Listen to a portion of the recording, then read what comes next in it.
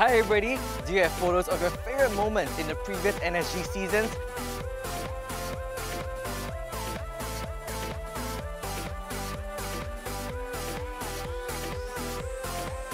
Let's do a throwback. Simply upload a photo on your Facebook or Instagram and hashtag BestOfNSG.